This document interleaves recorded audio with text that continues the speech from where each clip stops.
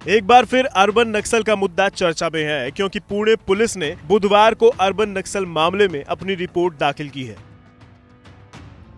और इस रिपोर्ट में गौतम नवलखा के कश्मीर में हिजबुल मुजाहिदीन से संबंध के संकेत दिए गए हैं। पुणे पुलिस की रिपोर्ट के अनुसार आरोपी गौतम नवलखा का आतंकियों से संबंध था। जाँच रिपोर्ट के आधार पर अतिरिक्त सरकारी वकील अरुणा पाई ने बॉम्बे हाईकोर्ट में अपनी दलीलों के दौरान ये खुलासा किया। उन्होंने दावा किया भीमा कोरेगांव मामले से जुड़े आरोपियों की देश के खिलाफ युद्ध की घोषणा की तैयारी थी।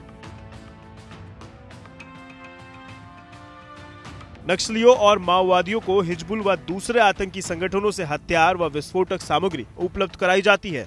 पुलिस को इस संबंध में आरोपी रोना विल्सन व आरोपी सुरेंद्र गडलिंग के लैपटॉप से सबूत मिले हैं। रिपोर्ट में गौतम नवलखा को जीएन नाम दिया गया है, जो कश्मीर के कई अलगाववादियों और हिजबुल मुजाहिदीन के कमांडर्स के संपर्क में था।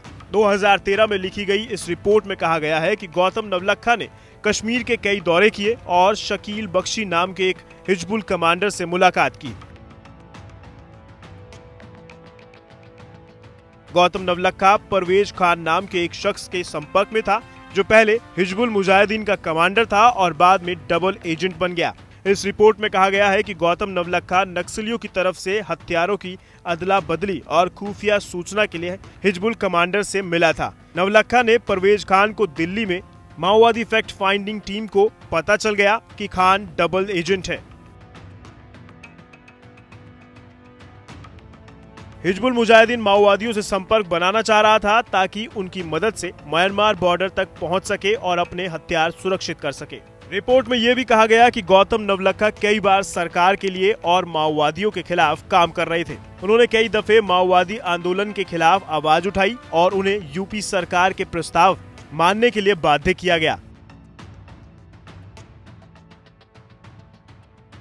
रिपोर्ट में गौतम नवलखा की मुलाकात सोनिया गांधी, विनायक सेन की पत्नी, इलेना सेन और चिदम्बरम से होने की बात कही थी। रिपोर्ट में माओवादियों के विदेशों में भी कैडर होने की बात बताई गई है। हालाँकि पुलिस ने अपनी रिपोर्ट दाखिल करते हुए कहा कि गौतम नवलखा को पुलिस कस्टडी में रखा जाए। पुलिस का कहना है कि अभी जाँच चल रही है। फ़िलहाल कई बातों से पर्दा उठना बाकी है। इसलिए नवलखा को पुलिस की कस्टडी में रखा जाना चाहिए। हालाँकि कोर्ट में हालाँकि कोर्ट ने ऐसा आदेश नहीं दिया।